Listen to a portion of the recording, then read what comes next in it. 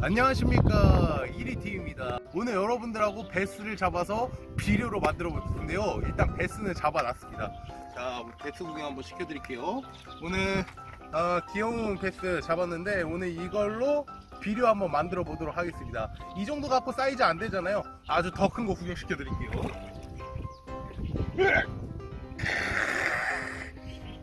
정도 되는 녀석으로 비료를 만들어야 아주 멋진 비료가 되지 않겠습니까? 오늘 이 베스로 비료 한번 만들어 보도록 하겠습니다.